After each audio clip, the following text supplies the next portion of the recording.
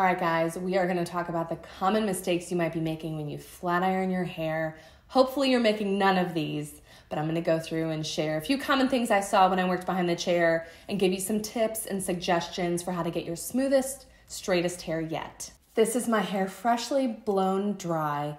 One of the first mistakes people make is not using a heat protector on your hair, either before you blow dry or before you use a heat tool. Today we're talking flat irons. You have two options really when it comes to heat protection. You can use a cream that you can put on damp hair. Um, they also make serums and things you can put on dry hair, but my example here is a cream like this that you can put on damp hair before you blow it dry. And really, that's the best option because your blow dryer has heat. So, the more like health strengthening products you can put on damp hair, the better because damp hair is more fragile than dry hair. Your sec- second option is to use an aerosol spray that you can spray on each section before you hit it with a flat iron or curl it. Um, this one protects up to 450 degrees. Let's hope your tool doesn't have to go to that temperature. It probably doesn't. Here's the thing with heat protection though no matter what products you put on beforehand or however many products you put on, you are still going to put heat on your hair. The products that protect from heat help. But if your hair is really fragile, um, if it's breaking and you just cannot figure out why, doesn't matter how many heat protection products you're using, it's the heat is still going to do some some damage to your hair. So try and take a break from heat. In the meantime, using heat protection products will keep your hair in the best condition possible given the fact that you're using heat tools. So that's the first mistake, not using some kind of heat protection that's a mistake people make. You have to use it. It really is the best thing for your hair. The second mistake is not sectioning. I can't tell you, let me get my part in here. I can't tell you how many times I would ask my clients when I worked behind the chair, like, okay, so how do you flat iron your hair? And they would be like, well, like this. And I thought, well, that's why you're not getting the result you want. You're just zooming over it. You have a section way too big the heat from the plates of the flat iron is not even going to get that middle part of your hair because your section is too wide. So, dividing your hair into sections is absolutely essential, especially if you're fighting frizz, if you're fighting a wave pattern, if you're fighting curls, you have to section your hair off. So, that is the second mistake, not making sections. I am just going to divide my hair here in two sections. I'm using a duckbill clip to clip it up. If you have thick hair or if you have a curl that you're fighting, go ahead and divide it into more sections. You are better off taking the time to do a really good, thorough job and get an extra day or two out of your hair than doing like a halfway job and having to wash and start over again. You're doing extra work to your hair that you don't need to do. The third mistake is not adjusting your temperature on your flat iron if you have that option. Um, this is the T3 flat iron. I've got five temperature settings here. I'm sitting on three. I use, use this brand's curling iron as well very regularly, and I hover between three and two on the heat setting on the curling iron, so I'm giving this a go on three. Um, I also love the GHD one inch flat iron. It does not have a heat setting. It is a great flat iron though. Um, so when I use it, I just try and work really quickly. So I'm going to show you how to flat iron a section of your hair you want to take a section that you can easily hold. It doesn't need to be paper thin, but it needs to be thin enough to where you're sure when you put the flat iron on there and pull it down, the heat is going to penetrate that entire section of hair. You also want, when you're pulling the flat iron through, to make sure you're clamping the hair. Don't press it too hard. Clamp down on the hair and pull through smoothly. If you're not getting a really smooth glide through your hair, you may have product buildup on the edge that's ripping and yanking your hair, or you may just have a flat iron that kind of has pulsating heat, and sometimes that can drag against the section. You want even heat coming through your iron so you're getting an even, smooth finish on your section. Even though my hair is straight, I like to start near the root area and just slide down. I'm pulling at an even pace. I'm holding the section with my hand and then dropping it out. If I want these hairs a little closer to my hairline to kind of bend in a little bit, which is usually what I prefer, I'll pull that section out. I'm gonna put the flat iron in right against the root and then do a C shape so it kind of bends into my hair a little bit or into my face a little bit. and then run my fingers through it and smooth it out. And I've got a nice smooth section here. So you can see the difference in how finished and smooth my ends look when I flat iron them, even though my hair is straight. So I'm gonna continue grabbing sections around my hair. Always comb out your hair before. That's another mistake that I see women make. They're just running that flat iron over sections of hair without combing it out. And if you don't comb it out beforehand, you're just gonna kind of cook the knots and tangles and bends into your hair. See how I'm pulling steady all the way down to the ends, and I've got a nice, flat, finished, shiny section. I like to comb mine out right away. I'll continue working my way around my head. What I like to do to give the back of my hair a little movement is pull these sections in the back to the side and flat iron them so they just kind of swoop on my back instead of being stick straight and being likely to flip out. So I'm putting the flat iron in. I'm still pulling it straight, but you'll notice I'm pulling it out over my left shoulder. I'm gonna slide it down.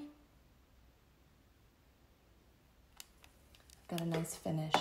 If your flat iron is not giving you a smooth finish with one single pass through the section, it may be time for a new one.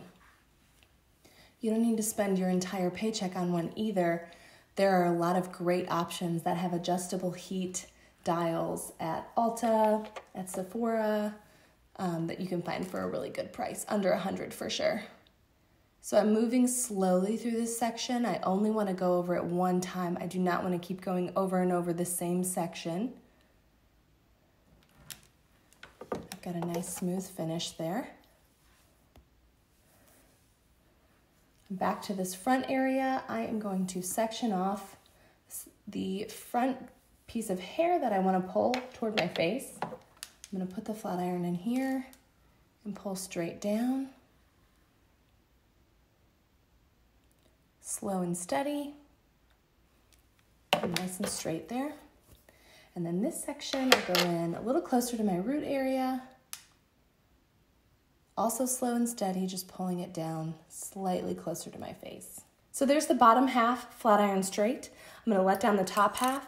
If you have trouble uh, telling the difference between the hair you've just let out of the section and the section you've just worked with, you can use a duckbill clip and just clamp it down.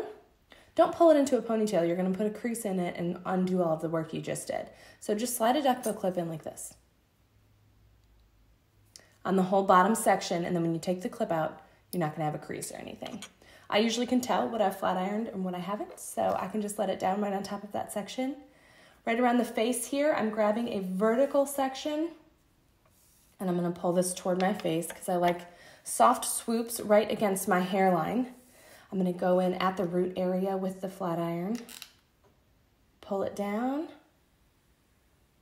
My wrist is bent a little bit so you can see I'm getting a slight turn to the section. Go through with my comb right away, comb it out. I've got a nice little bend there. So I'm working my way back here. This is too wide of a section to grab with my flat iron. So I'm gonna divide it in half, comb through this. That's why you comb through. And then this is a better size for me. If your hair does not smooth as easily as mine does, the smaller sections you take, the better especially at the top part of your hair. You really don't need this section in here to be super straight if you know you're gonna wear your hair down. So it may be better to spend a little extra time if you're in a rush on the sections of hair that you're gonna see, which is that top layering right around the face. You maybe don't need to worry about the nape area very much. For volume, I'm lifting the section up instead of pulling it straight down. I'm lifting the section at the root here, I'll show you again, putting the flat iron in, and I'm going up.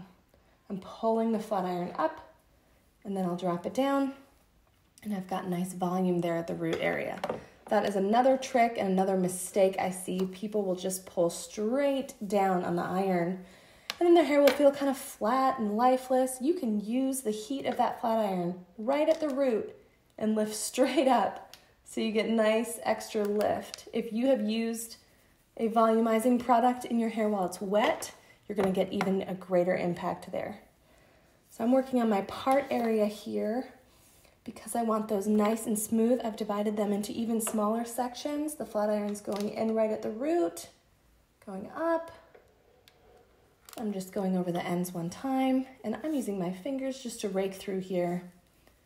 But this left, my left side is done. Moving on to the back. Just grabbing sort of the crown area here, combing up, making sure I'm all the way combed through. Might be out of frame for this shot. Putting the flat iron in at my root, pulling it up, and smoothing through one single time.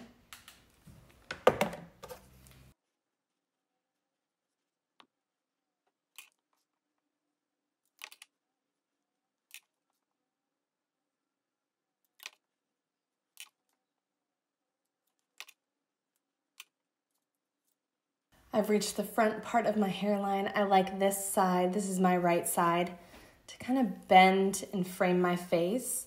So I'm combing this section forward. It's not technically a bang, but it's sort of my shorter face frame on this side.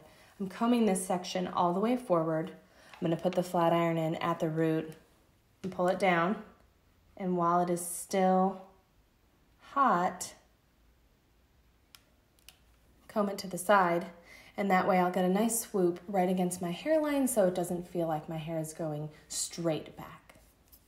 I hope this video was helpful for you to watch. I hope you weren't making any of those mistakes and you just thought, yep, I'm doing that, I'm doing that, I'm doing that right as you watched. Of course, if you were making those mistakes, now you know not to make them anymore so you can get a nice smooth result to your hair. You're not doing extra damage to it, you're keeping it nice and strong and healthy while you get a really smooth flat ironed look. If you enjoyed this video, you may enjoy a video that I've posted called the blow dry mistakes you might be making. I'll put a link to it right here on the screen. You can just click right on that box.